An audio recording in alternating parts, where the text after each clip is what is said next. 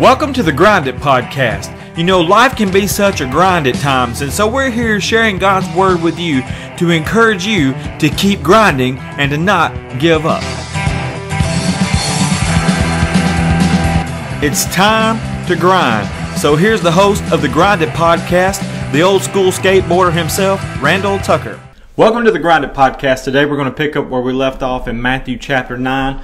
Uh, Jesus has healed a paralyzed man by telling him that his sins were forgiven. And the religious leaders who had witnessed this, they were thinking to themselves, they didn't say it out loud, they were thinking in their minds, they were thinking, this is blasphemy because only God can forgive sins. So to prove that Jesus is God in the flesh, that he is the Messiah, that he has the authority to forgive sins, Jesus tells the man to get up and pick up his mat and go home.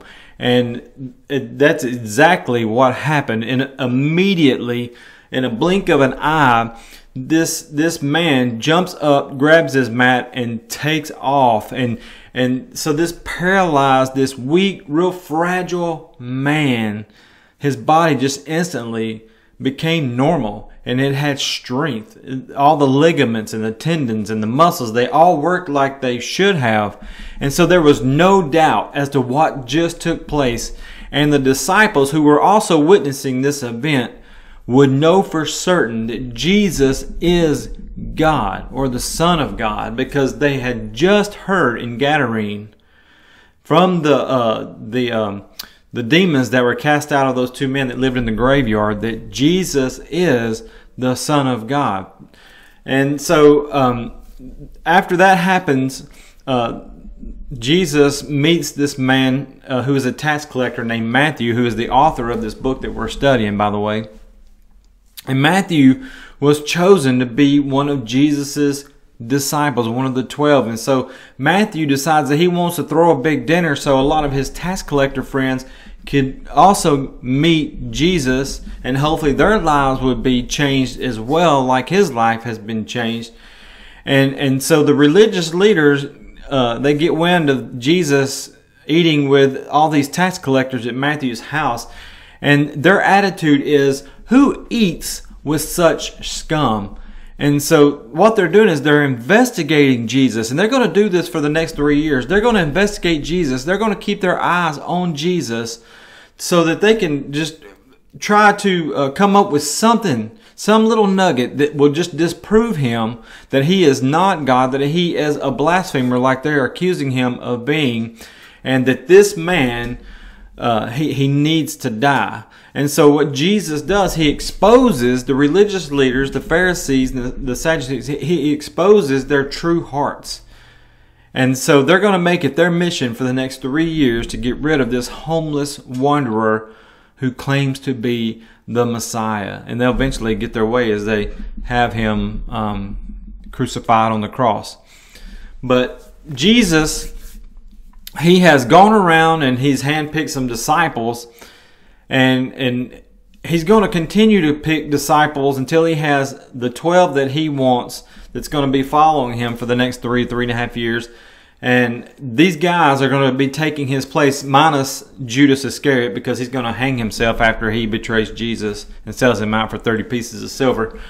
Um, but uh, then Matthias takes his place in Acts chapter 1. And so these 12 men are going to uh, take Jesus' place after he leaves earth and after he ascends back to heaven and sits at the Father's right hand. And the Holy Spirit comes down uh, and and and fills uh, these twelve men and and God living on the inside of them, Jesus living on the inside of them through the power of the Holy Spirit. And, and but they're, they're not aware of this yet. Uh, they they have a different expectation of who the Messiah is or what exactly the Messiah will be doing because they're thinking earthly kingdom. They're thinking we're going to rule and reign on this earth and we're going to kick these Romans' butts and we're going to be delivered from this Roman oppression. But that's not what Jesus had in mind.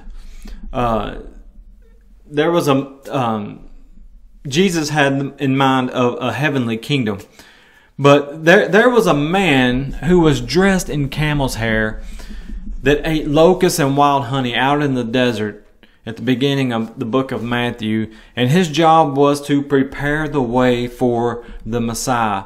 And this man even baptized Jesus in the Jordan River. And when he did that and they come up out of the water, he saw the Holy Spirit come down in the form of a dove and land on Jesus' shoulders, which signaled to him that Jesus is the one, that he is the Messiah, that he is, as John the baptizer proclaimed, the Lamb of God that takes away the sin of the world. Now, John the baptizer also heard a voice from God the Father Himself come down from heaven at that baptism after the Holy Spirit lands on Jesus' shoulder that affirms Jesus as God's Son. Now, John the Baptizer, just like Jesus, he had disciples or he had some followers. And, and in fact, later on, uh, as John's going to be in prison, he's going to begin to lose his disciples, and many of them begin to follow Jesus um, because John's going to be beheaded in, in prison. Uh, and so they, they, they go follow Jesus. Um, and so, with the changing of the guard, if you will, from John to Jesus, John's disciples, is, I think this is a natural thing, they're, they're going to have some questions for Jesus. And, and if you think about it, John at this time He's not going around working miracles or casting out demons. The only thing John is doing is preaching the message of the kingdom of God and baptizing people. That's it. And so John has done his job. He has fulfilled his duty that God has given him, and that was to prepare the way of the Lord and make his path straight. And, and he has done that. And so Matthew writes about an occasion uh, that one of some, uh, some of John's disciples that they come to Jesus with a question, and that question has to do with fasting, which is found in verses uh, chapter nine, verses fourteen through seventeen. It says, "One day, the disciples of John the, the Baptist or baptizer came to Jesus and asked him, "Why don't your disciples fast like we do, and the Pharisees do?" And Jesus replied, "Do wedding guests mourn while celebrating with the groom? Of course not." But someday the groom will be taken away from them and they will fast. Besides, who would patch old clothing with new cloth? For the new patch would shrink and rip away from the old cloth, leaving a, even a bigger tear than before. And no one puts new wine into old wineskins, for the old skins would burst from the pressure, spilling the wine and ruining the skins. New wine is stored in new wineskins so that both are preserved. And so kind of what's going on here is is the old comparison game. Um, the John's disciples are comparing themselves to Jesus's disciples. I mean, they're getting to see all this cool stuff, and they're getting to witness all this cool stuff. You know, people being healed, and and, and uh, demons being cast out, and uh, getting to hear all this great teaching, while they're just out there in the desert with with this guy in camel's hair, and and he's preaching about the the kingdom coming, and he's baptizing people uh, for the remission of sins. And so they're kind of comparing, uh, in my opinion, um, to themselves to Jesus' disciples. And they also are comparing Jesus' disciples to the religious leaders because they said, hey, we're fasting and we fast a lot, just like the religious leaders fast. But your disciples, they're not fasting and they're not fasting. If they are fasting, they're not fasting very much at all. What's up with that, Jesus? Can you can you explain this? We fast, so why why do your disciples not fast? And so it, it's almost that they're asking, since you are the Messiah, as John has told us, and we believe that you are, and since you are the standard of righteousness and holiness, then why are you not teaching your disciples to fast? As if fasting maybe was a standard of some kind of holiness or um, it makes them more righteous if you fast. That because that's what the religious leaders thought it was. The religious leaders made a huge ordeal uh, about fasting and when they were fasting and how often they fasted. They, they they made sure that they let everybody know when they were in a fast and they let everybody know how many times a week they fasted uh, this is recorded in Scripture. Uh, but notice that Jesus doesn't rebuke John's disciples, nor does he answer them harshly. And he never says that fasting is not important because he's going to tell them uh, that there's coming a day that his disciples will actually fast, but just not right now. Because there's there's some things that are way more important going on than fasting. There, there's this bigger picture, if you will, and that picture is Jesus teaching his disciples about the real kingdom of God. That it's not an earthly kingdom as they're expecting. And Jesus knows what the disciples are thinking when he's talking about the kingdom. And so he's trying to explain to them that hey, my kingdom is not of this world, like he told Pilate. And, and he's trying to get these disciples to realize that it's not going to be an earthly kingdom. It's much, it, it, it's much more greater than an earthly kingdom. His, his power, he, he didn't come here to beat up on the Romans and deliver the Jews from the Roman oppression. He came here to deliver us, Jews and Gentiles, from sin and that he was going to have to die on a cross, be buried in a tomb for three days, and be resurrected. And he's going to send to the Father uh, 40 days after that, and he's going to send down the Holy Spirit, and God would dwell inside of man by the power of the Holy Spirit. And so th- there was a far bigger picture than what John's disciples could understand. And Jesus is saying, hey, this is what's going on. And, and so they're going to be fasting at some point, but for now, it's not the most important thing, but it'll take care of itself in the end. So Jesus uses something that John's disciples would be very familiar with and that for to, to explain their to, to give an answer to their question and and so he uses a Jewish wedding he says uh, uh, uh, that the, the, the bridegroom uh, let me see, how, how, does he put that? He says, uh, um, why don't your disciples fast like we do the, uh, and the Pharisees do?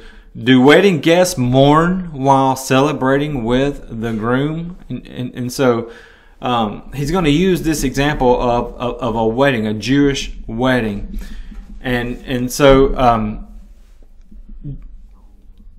a Jewish wedding back then, especially in the biblical days, the Bible days, it was a bigger ordeal than it is in our culture today.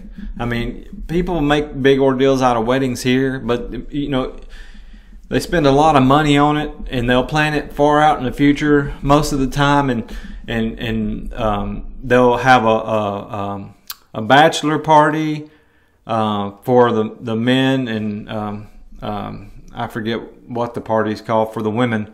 But both both will have uh, you know this one last get together with friends, and they'll go do something fun and together, and it's like their last time to be single, because they're about to have their wedding, and and they're going to be uh, coming together as one flesh, and so. Um, the Jewish culture, especially in the Bible times, when it came to a wedding, it was a much bigger ordeal than it is in in our day and time, especially in the United States, because a lot of people today it's, it's no big deal.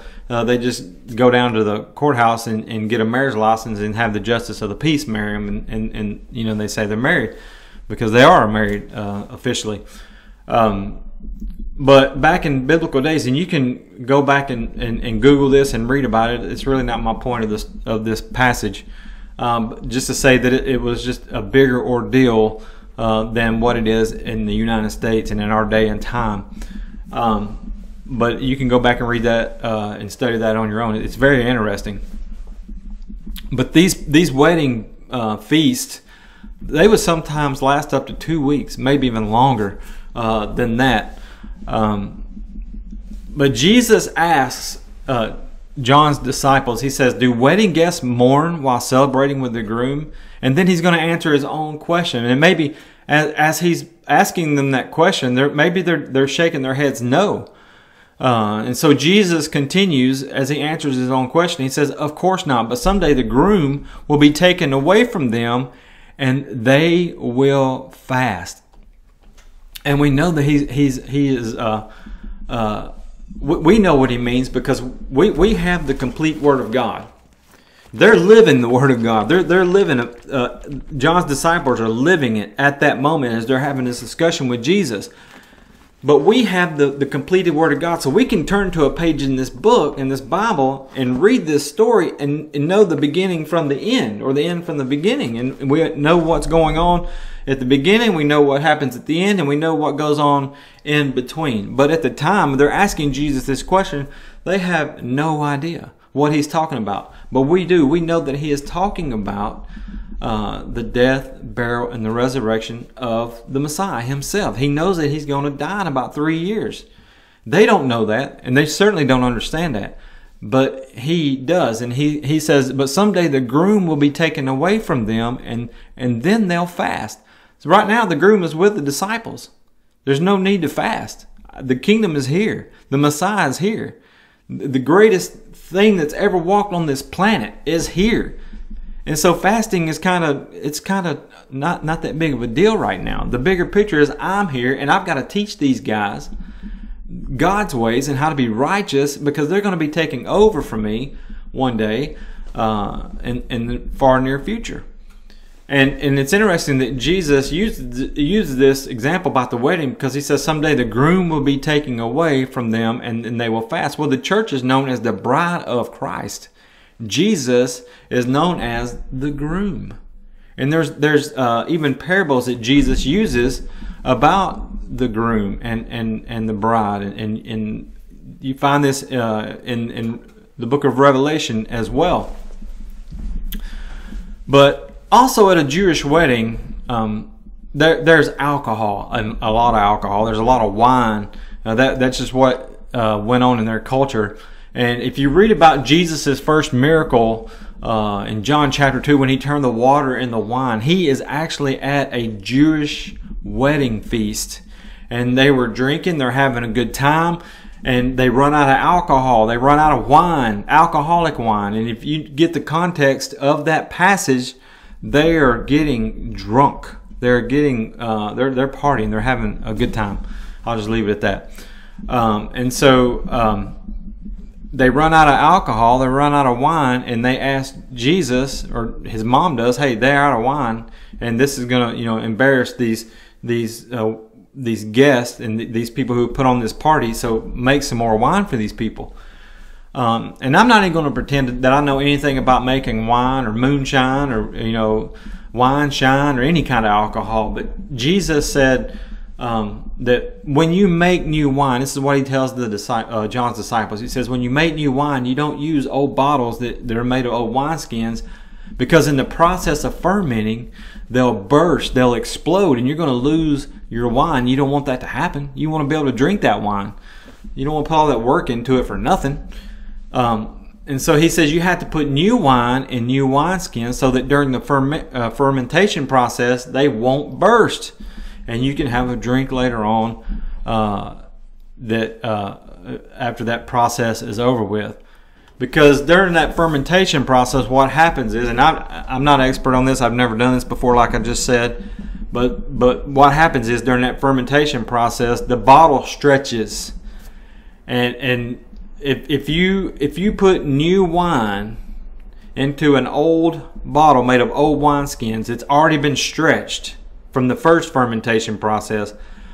What if, if, if it has to go through another fermentation process, it's not going to hold up. It's just going to give away. It's going to explode because it's already been stretched to its limits, and it goes beyond its limits, and it explodes. It pops. It's kind of like uh, if, if, you ever dropped a, a, a two liter Coke bottle uh, or a soda, and uh, and then all that carbonation gets stirred up in there, and all of a sudden that bottle begins to swell up, and and and I've seen this happen sometimes where it, it just got so big that the lid exploded or the bottle uh, pops off. And so this is basically what, what Jesus is saying is going to happen. If you put new wineskin in old bottle, I mean, if you put new wine into old bottles and these, made of these old wineskins, it's going to pop like that, that, that carbonated drink inside that two liter.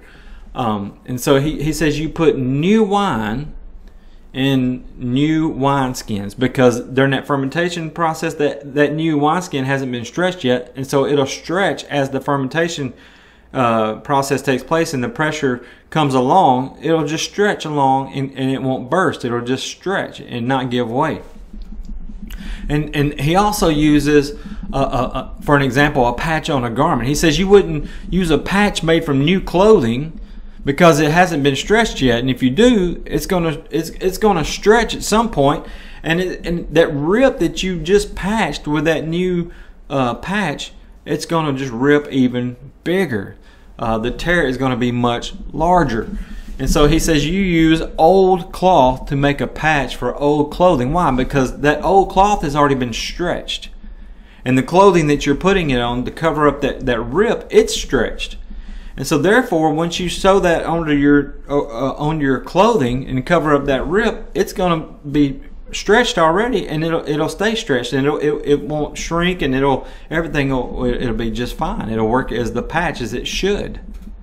And so the whole idea here that Jesus is talking about with these wineskins and with these this patch for clothing is preservation.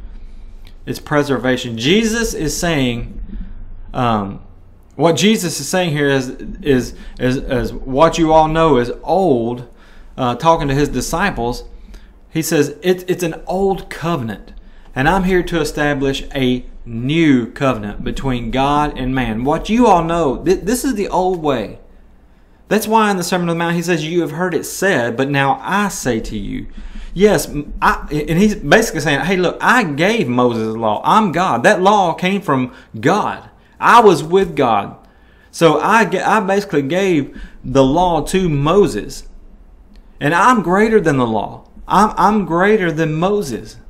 And this is an issue that they the, the people had with Jesus, especially the religious leaders. They they just thought he was a blasphemer. And they saw him as a homeless man, a nomad who had no place to lay his head, and he was just an ordinary dude. He didn't fit their expectation, and it just blew their mind. But Jesus says, Look, this is the old way. I'm here for a new way, a new covenant between God and man. It's no longer about circumcision of the flesh. It's about circumcision of the heart. And that's what Paul says in Colossians chapter 2 down around verse 10. He talks about how we're baptized into Christ. When we're baptized into Christ and washed in the blood of Jesus, then we have a circumcision not made with hands, but a circumcision made of the heart. It's a spiritual circumcision. Uh, and so Jesus is saying here, I'm here to preserve this away. I'm not here to do away with it, but to preserve it. It's no longer about following rules and regulations and circumcision of the skin.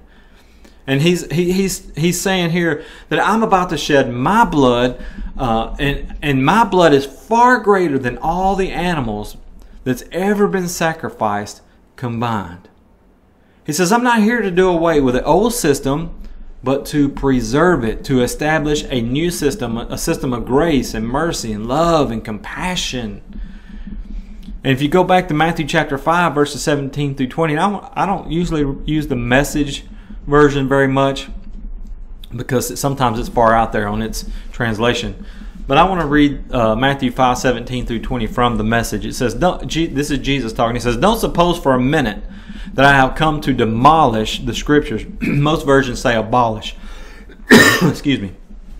Abolish means do away with.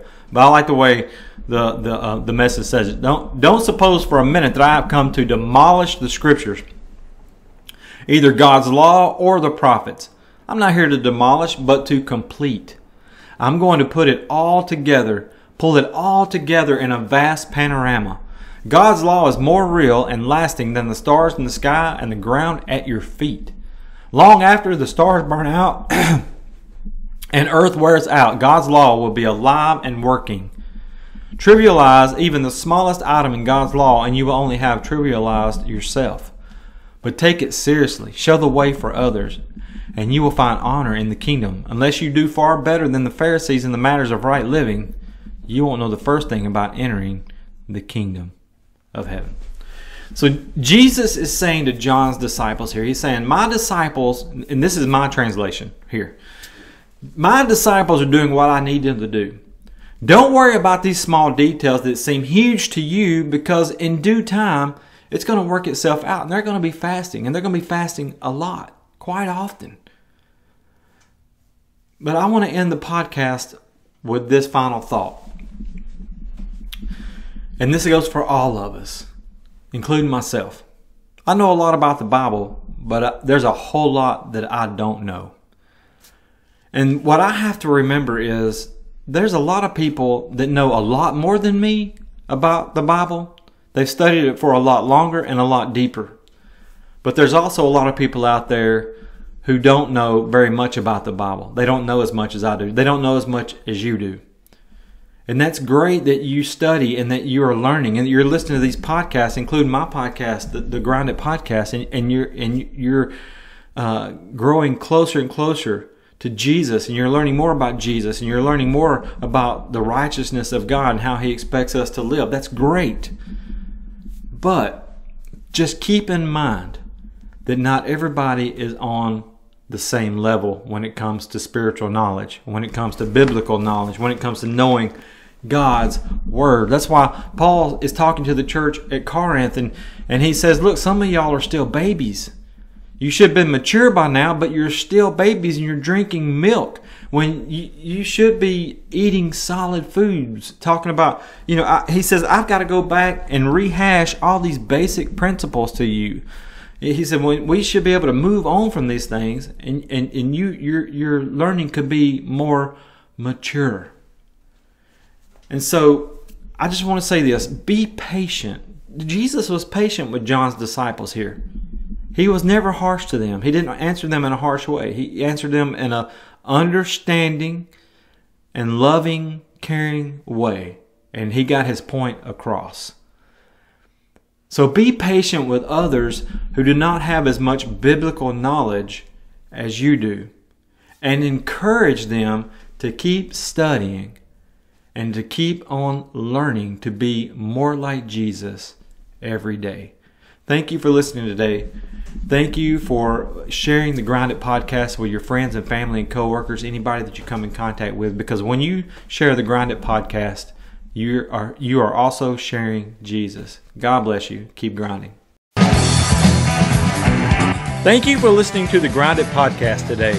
May God bless you. If you have any comments or questions, you can email them to us at thegrinditpodcast at gmail.com. If you would like Randy to come and speak at your church or your next event, you can contact him through that same email address. Also, I would like to thank Jodie Foster's Army, also known as JFA, for their song ABBA as we use for our intro and our outro off their untitled 1984 album. May God bless you and remember, keep your eyes on Jesus and keep grinding.